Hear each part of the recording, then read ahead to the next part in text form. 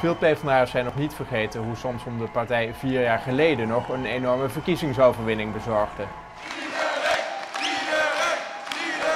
Maar kan hij dat nog een keer doen? Regeren met de VVD is de PvdA in ieder geval zwaar gevallen. Ik gaf mijn woord. En mijn woord als politiek leider staat. Vooral de strafbaarstelling van illegaliteit verscheurde de partij. Over mensen doe je geen compromissen. Dit is gewoon voor ons niet acceptabel. Kiezers zijn massaal weggelopen. Geen geitpraatje. Geef me één duidelijke reden. Dit is. We waar de mensen iets aan hebben. De arbeiders. Banen.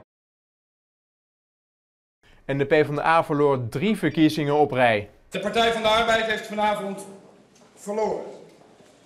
En daar baal ik ontzettend van. Ondanks alles houdt Samson de moed er steeds in. Ik lees te veel getop.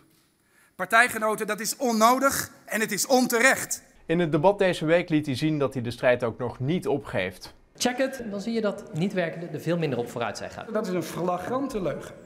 Dat is gewoon niet waar. En dat weet u ook. En dat zou u sieren als u dat toegaf. Maar het lijkt bijna een onmogelijke opdracht voor hem om het tij nog te keren. We verloren met de kiezer elke klik. En dat is allemaal de schuld van Diederik. Is het oordeel van veel kiezers en het is lastig dat beeld nog te veranderen. Misschien dat een andere lijsttrekker nog wel kan zorgen voor een comeback van de PvdA, maar de vraag is wie zich daarvoor zal melden.